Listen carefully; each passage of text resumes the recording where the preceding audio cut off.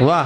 देवबंदी शिया सुन्नी बरेलवी में बट गए। वाह वाह वाह। अपने अपने मकसदों से इसीलिए हट गए। अपनी अपनी मस्जिदें हैं अपने अपने पीर हैं। तरकशों में जंग खाए सारे टूटे तीर हैं।